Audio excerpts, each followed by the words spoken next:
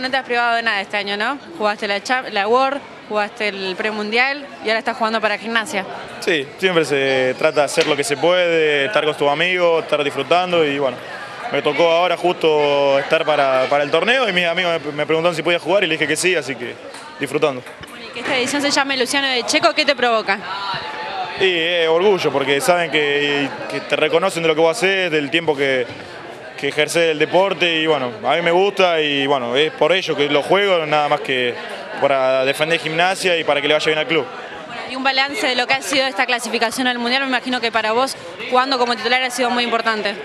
Sí, fue un año duro, bastante positivo porque se dieron resultados, tuve bastante tiempo en cancha y bueno, se lograron cosas importantes donde yo fui parte o gran parte de del logro, así que bueno, estoy muy contento y esperemos que el año que viene siga.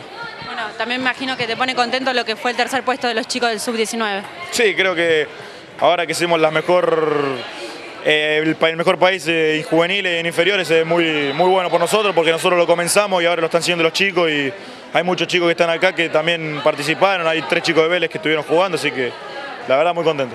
¿Y expectativas para lo que va a ser el Mundial? Falta mucho, pero ¿qué expectativas hay?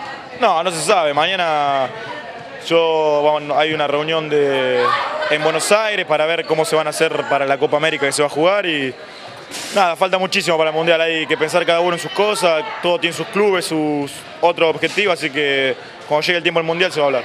en lo personal, después de este torneo, eh, ¿qué vas a hacer? El viernes me estoy yendo a Rusia, ya se me terminaron las vacaciones.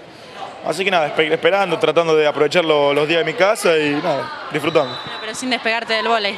No, siempre se entrena porque llego y siempre no tengo pretemporada, nada, tengo que ir a jugar directo, así que lo tomo como una práctica.